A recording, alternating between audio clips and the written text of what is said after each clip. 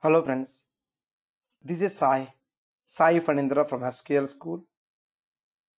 I assure you, complete practice oriented classes, completely technical, practical, interactive classes on beautiful and amazing data warehouse technology, Snowflake. Let's get started. Let's understand slowly what is Snowflake and why we need to go for it and how. Let's get started slowly, step by step. To get into Snowflake, let's start from the scratch. What is database? We'll understand what is database and types of database. What is data warehouse for first five minutes. The next five minutes we'll understand about Snowflake, what exactly the Snowflake is. A brief history and why to go for it? Why to go for the snowflake data warehouse technology? And then we'll be understanding our actual course details regarding the duration of the course what exactly we learn in our classes type of support pertaining to technical clarifications, project work, modes of training, and the prerequisites. This particular short uh, demo or the introduction is planned for about 15 minutes. About 15 minutes. Let's get started. Let's understand data warehouse. A platform to store any type of data, any amount of data no restrictions. Completely secured and easier to access. And in database environment we would be involved in one or more of these job roles like design of databases or access from the databases or manage or administer the databases or a mix of all three with this information. There are basically three different types of databases. Oltp database olap database data warehouse we call it as data warehouse and htap a mix of above three HTAP. First OLTP, online transaction processing database, mainly to store live real-time data. We have OLAP, online analytical processing database for analysis and forecast activities. Then we have data warehouse for old historical data. Then we have HTAP, hybrid transactional analytical database, like all in one. Assume, for example, a live cricket match. That is OLTP, ball to ball score. We see expected run rate, required run rate, current run rate, speculations, calculations like expected run rate, accurate forecast. That is OLAP. Past old historical data comes from warehouse, data warehouse. Anything inactive, anything old is warehouse. A mix of OLTP plus OLAP plus data warehouse is equal to HTAP hybrid transactional analytical database like all-in-one database. Like for example a google map live streaming live location plus expected time of arrival olap plus past navigations warehouse something like that. Let's concentrate on this particular warehouse component here it is. Data warehouse is a special type of database to store to store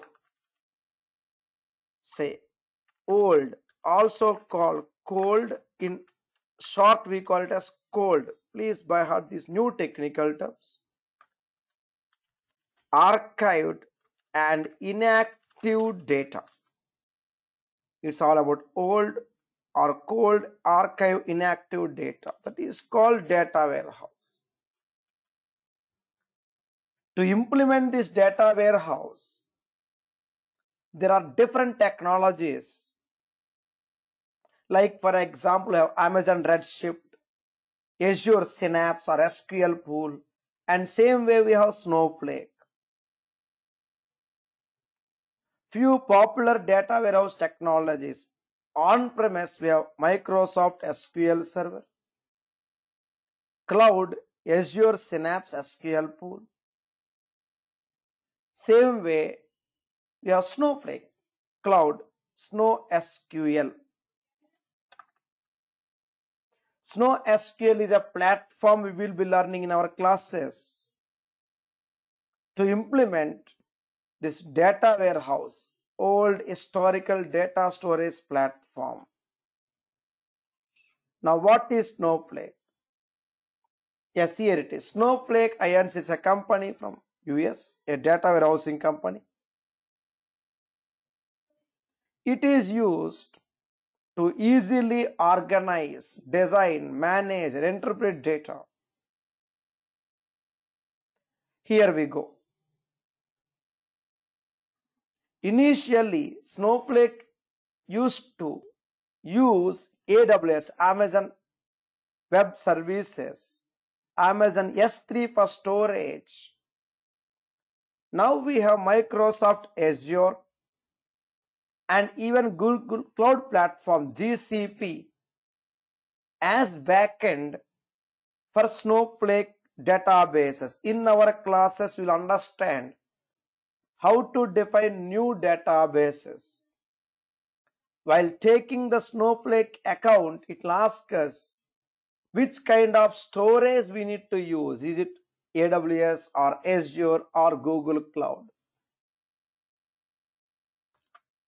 Well, we'll be taking those options anyway. Remember, data warehouse technology Snowflake is basically old historical data store technology. We need, need not be aware of other cloud platforms like AWS or Azure to work on Snowflake. It's an internal process, internal dependency we are talking about. The main advantage of Snowflake no or limited management activities. But we need to have some knowledge on SQL. We will be using a variant of SQL called Snow SQL. It comes as a DWS, Data Warehouse as a Service. A friendly, scalable and easy secured storage platform. So in Snowflake, we work with something called virtual databases, big data loads, automated pipelines, and non-data platforms, non-database platforms like file systems, etc. So easy user interface. We can easily spin up or scale down the capacity we need not worry about configurations or upgrades or errors. Everything a Snowflake cloud provider will take care. We'll understand the concepts from scratch anyway. And we have automated scaling, data lake activities. We'll be understanding big data store components. We have query optimization techniques, security and as well we have monitoring alerting activities also when working with snowflake in our classes we'll understand various formats of data and no software or hardware to be installed or configured completely cloud based So no hardware, completely virtual and easy maintenance management activities. It's 100% cloud infrastructure component. With this information, coming to our course details, we would be aiming at Snowflake certification. There are basically two different certifications, Snow Pro Core and Snow Pro Advanced Architect level. We'll be focusing on all possible Snowflake concepts targeting at both core and advanced. We'll start from the scratch, no additional prerequisites except knowledge on SQL because we need to do Snow SQL activities. So basics of SQL are required.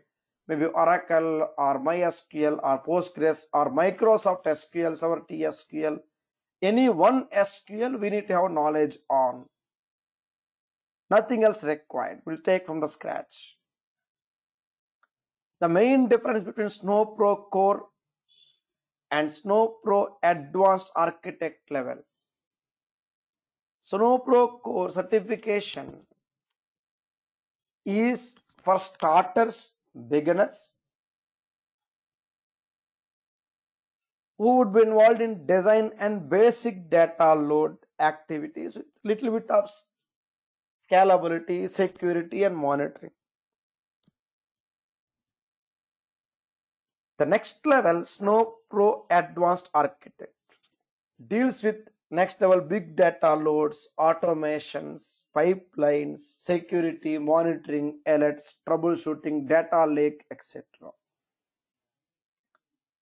So duration of the course will go for about four weeks course. Plan for about uh, about 18 to 20 hours. Live online or on demand videos. Live online we have regular as well as weekends. Or you may go for on demand video self paced wherein you can access at your own comfortable time. Videos would be available 24 7 for the given duration and the complete class are highly technical. Certification guidance study and practice material included in the course. Type of training completely 100% practical and real time. I'll take care of the day wise notes or the session wise notes material for study and certification including extra practice interview faqs concept wise FAQs for every concept throughout the course. Project work and more importantly project FAQs. If your interviewer asks you what you did in the previous project or what are your roles and responsibilities or for example a question like any scenario where you want a VSAT from the customer or any scenario where you need to escalate that issue or the support request to your SME, a subject matter expert or a lead or a technical manager. These kind of role based questions and properly formatted meaningful answers to be a part of the project FAQs. So here it is, the prerequisites. I'll just get this way. Basic knowledge of SQL any one is okay either Microsoft or Oracle any SQL is okay. And the job role would be data engineer in case you are going for Azure Data Engineer, then the Snowflake would be an extra add-on, preferred add-on item.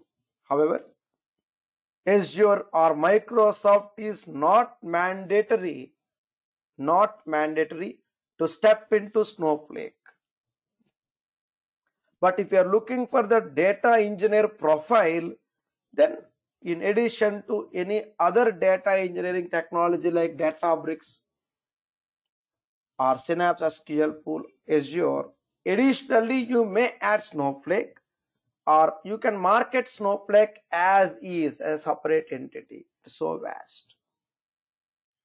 For clarifications on your profile planning, resume, or kind of technology change for meaningful shift in your technology change, you may always contact me for doubts and clarifications.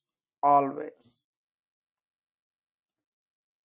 So here, the complete course content just in case. Right from introduction, we'll go for architecture, account creations and objects we have Snow SQL concepts, import exports, life cycle, big data loads, various kinds of ETL operations.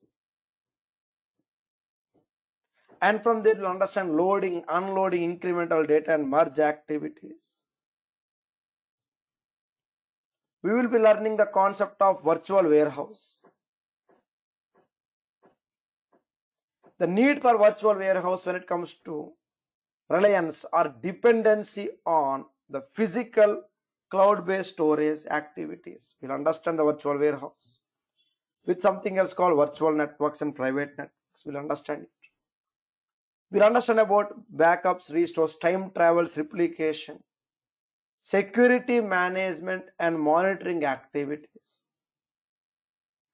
We'll understand about data factory and other data engineering terminology and with examples. And finally, chapter 18 it's all about governance, data governance, column level securities, managing the account, managing the profile, identity managements, etc.